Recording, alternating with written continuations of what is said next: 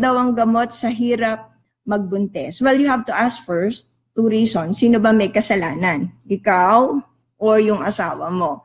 So, usually, for sperm count, mahina yung sperm count, ashwagandha. Ashwagandha is good.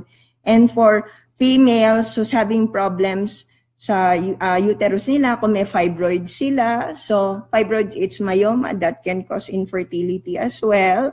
So, that's one of the reason why you will become infertile. Fibroids, kapag ka meron ka mga, mga bukol, Adamong Maria is good for that. Okay? But for guys, ashwagandha, that's the best. So what you can do is ashwagandha. Okay, ano yung ashwagandha na yan? Okay, it's like a berry. Tumutubo lang po yan sa farm kung may farm ka.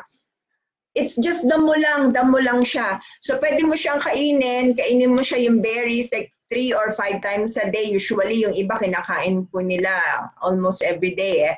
So it increases your sperm count by around 30% uh, in three months. So yan yung mga scientific findings for that. I want you to research on GMO, genetically modified organism, xenoestrogen, and endocrine disruptors. These are the three most common causes of diseases right now. Okay? Kaya yung mga may problema po sa thyroid, may mga problema sa infertility, hindi magkaanak, ano? So I want you to research on this.